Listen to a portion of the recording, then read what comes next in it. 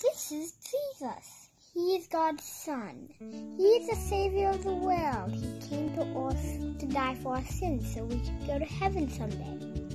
Hi, I'm Jesus. When he lived here on earth, he healed many people. Be healed. Yay!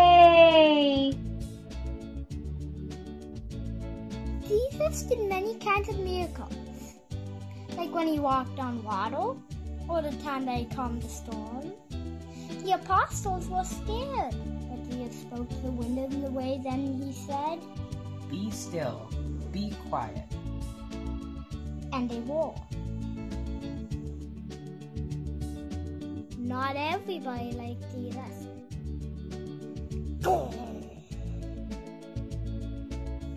He was arrested and he was sent to die on the cross on a very sad Friday. Even the also could sadness. But on the third day, Jesus rose again.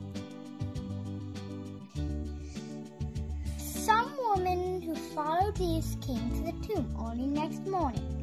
There was an angel there. He said, Don't be afraid. I know you're looking for Jesus who was crucified. He's not here. He is risen. Just as he said.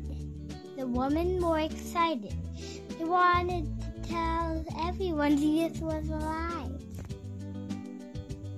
Then Jesus showed himself to everyone. I'm alive. Yay! For 40 days, Jesus walked among the people, teaching them many and went to heaven, but he told them not to worry. He'd be back and he would send the Holy Spirit to be with us until then. Don't worry. I'll be back.